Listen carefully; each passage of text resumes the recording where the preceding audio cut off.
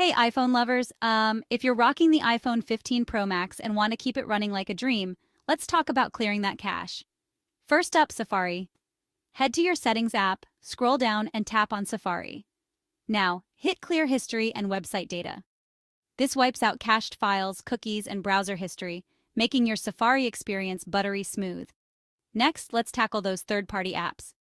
Go back to Settings, tap on General, and then iPhone Storage. Here, you'll see a list of all your apps. Find the app that's hogging space and tap it. Look for an option to offload app or clear cache. Not seeing it? No worries. You can always uninstall and reinstall the app to clear its cache. Quick tip. Offloading an app keeps its documents and data so you won't lose any important info. So, why is this important?